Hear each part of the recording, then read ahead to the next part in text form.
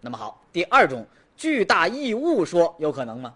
就在此时，一个当地人提供了一条重要线索。原来，在博斯腾湖的西南区域有一大片的沼泽地，对于当地人来说呢，那是一片令人恐怖的迷魂阵，经常有牛羊误入其中，最后神秘消失，不知所踪啊。而在高大茂密的沼泽当中，还长着一种罕见的宝物，被当地人称之为地宝。村民说了，没准儿这片充满神奇色彩的奇幻之地，就藏着破解水怪之谜的关键线索呢。于是乎，科考队决定前往那片水域一探究竟。很快，他们有了惊人的发现。这就比刚才我们看到的芦苇粗多了，确实挺奇特的。它这边这个更粗啊，对，它这边的更它这个更粗。科考队员后来才得知，眼前的这种神奇的植物就是博斯腾特有的巨型芦苇，名叫博斯腾大苇。据当地人说呀，在这博斯腾湖畔的湿地里边，长有数千亩这样的不同寻常的芦苇。根据专家的测量，这种博斯腾大苇的高度超过了四米，直径接近三厘米，高度和粗壮程度啊。那都是普通芦苇的两倍以上，直径是达到了三米，这个直径现在已经达了三公分。紧接着，科考队找到了当地人口中的地堡，在土底下长的时候呢，它就推裂开这个细纹，你看到没有？它就自然长长长长长到一定的时间，裂开口了，里面的空气进去了，嗯，它就它就开始开盖要是没有空气，它不会轻易不会开盖你看，我要不给你挖出来看看，看一下吧，看看。经验丰富的向导一点一点将表层的泥土扒开，很快地堡便露出了真容。哇！哎呦，这么大，有一公斤。啊，我们测一次它的它的直径和高度，二十二十啊，二十厘米。测一次它的高度，高度二十五二十五厘米。那么这个地堡究竟是什么呢？看上去像是某种菌类啊。那它的真名又是什么呢？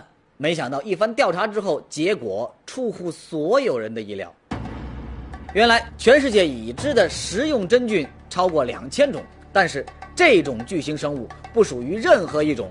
专家推测，这有可能是尚未被记录的某种生物的变种。大型芦苇、巨型蘑菇，它们的个头啊，都比其他地方要大很多很多。这不正印证了巨大异物说吗？看来这个博斯腾湖啊，还真是有一点不同寻常。事实上，有生物学家早就提出过巨型生物圈的说法了。在世界上许多地方都曾经发现过一些巨型的生物，而要维持那些超大动物的生存呢，你就得让它们吃饱啊，那就很可能需要一系列的巨型的植物或者说巨型的昆虫来配合，这样啊，一个巨型的生物圈就建立起来了。如果说把这个理论套到博斯腾湖的话，那么水边有巨型的芦苇、超大的蘑菇，那是不是就意味着这里就有一个巨型的生物圈呢？那么相对应的，水中存在着巨型的生物，似乎也就变得十分合理了。当然了，这一切都只是推论啊！想要最终盖棺定论，咱们还需要更确凿的证据来支持。科考队决定从这里的土质开始调查。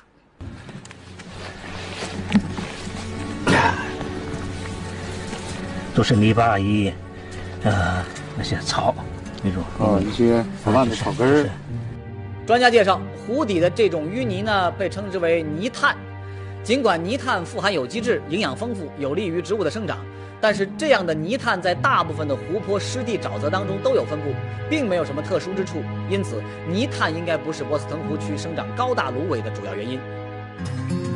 如果泥炭土质不是破解谜题的关键，那么还会有什么可能性呢？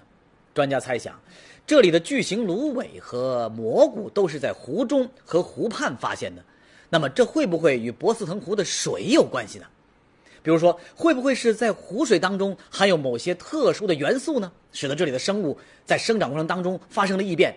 随后，专家决定对博斯腾湖进行水样分析。博斯腾湖的水，呃，氮磷钾的含量现在偏高。那他们那个别的湖的里面的氮磷钾的含量，呃，低于这个博斯腾湖。数据显示，在博斯腾湖的湖水当中的氮磷钾的含量比其他湖泊都要高，而且高出了两倍有余。而氮磷钾，那都是植物生长必需的养分呢。氮可以促进植物细胞的分裂和增长，钾能够促进植物的光合作用，磷呢能够让植物长得更加高大粗壮。也就是说，博斯腾湖畔这些异常粗壮的芦苇，并非是什么奇异物种，只不过是普通芦苇在吸收了水中高浓度的氮磷钾之后长出的粗壮植物。也就是说，湖水给它施了肥了。而湖岸泥地里的巨型生物地堡也有着相似的成因。难道说博斯腾湖水中的巨型生物也是因为吸收了水中高浓度的氮磷钾而变异来的吗？实际上，大家都知道，氮磷钾等元素和水分子结合呢，就可以被植物吸收。但是，它们要想进入动物体内并产生作用，还需要转换成离子的状态才行。啊，这个说的就有点专业了啊。简单的说吧，就是湖水中的氮磷钾是不可能直接导致动物的形体变大的。也就是说，博斯腾湖所谓的水怪，应该是另有原因。那么究竟会是什么呢？那个原因，博斯腾水怪的终极秘密。又会是什么呢？咱们下节揭晓。下水捕捞意外发现，能否解开湖底秘密？特殊地形、独有气候，成为解密关键线索。江西卫视经典传奇正在为您解密。